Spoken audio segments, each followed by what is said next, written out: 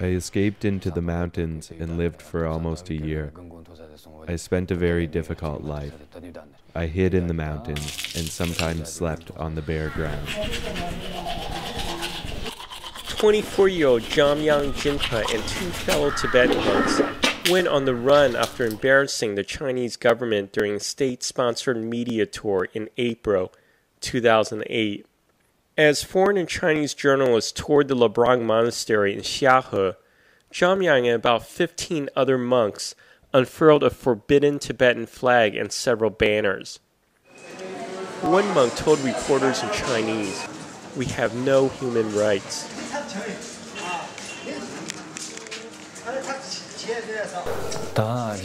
Once I joined the protest in front of the foreign journalists, there was not any place for me to hide.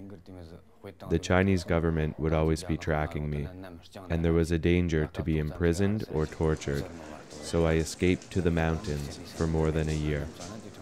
I tried to leave Tibet, but couldn't get the chance to escape. Finally, I got the chance to escape to India.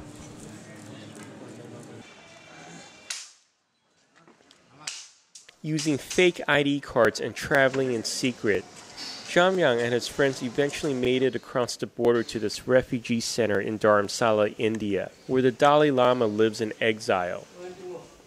Jamyang's story is a window into the aftermath of what was the largest uprising among Tibetans in decades.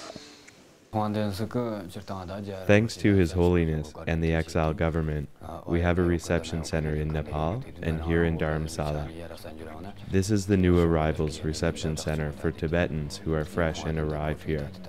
They are welcomed by the center and His Holiness.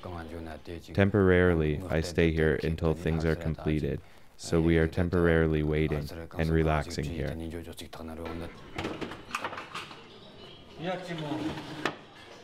不要车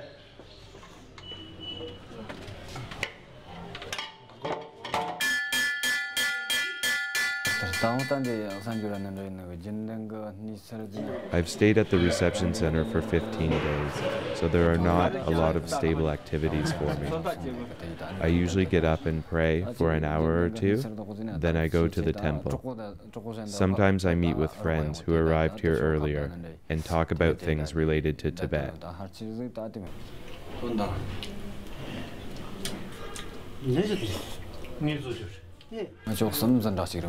Three of us were in the same monastery in Tibet.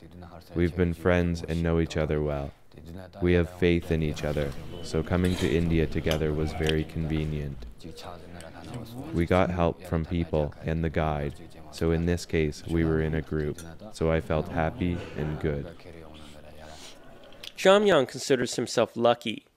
This refugee center usually gets between 2,500 to 3,000 refugees annually. But a Chinese security crackdown whittled that number to 550 last year. Only 176 people had made it across the border to the center by this May. Actually, I miss my friends and family in Tibet, but I try to bury my feelings. There are many people who helped us out and worry about us. They cried for us and are still concerned over our situation. At the moment, I can't return to Tibet, but I don't know about the future.